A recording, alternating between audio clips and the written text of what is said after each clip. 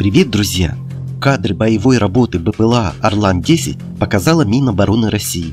БПЛА «Орлан-10» начал поставляться в войска в 2010 году и к настоящему времени является самым массовым БПЛА российской армии, применяемым на Украине.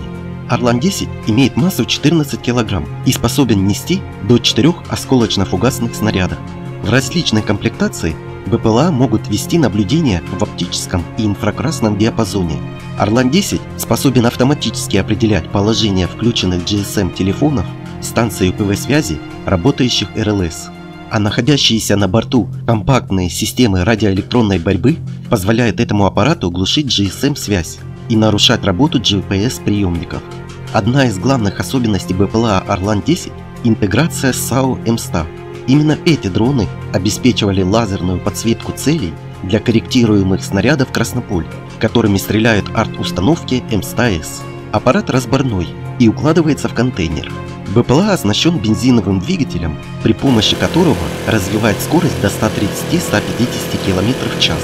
Продолжительность полета 15-16 часов. Старт БПЛА осуществляется с катапультной установки. Полет происходит в автоматическом режиме, по заранее заложенной программе или под управлением оператора. Посадка производится при помощи парашюта и баллона под днищем. Дальность полета 600 км, радиус действия 120. Цена БПЛА «Орлан» от 87 до 120 тысяч долларов. На этом на сегодня все. Друзья, спасибо за просмотр. Мы осветим все.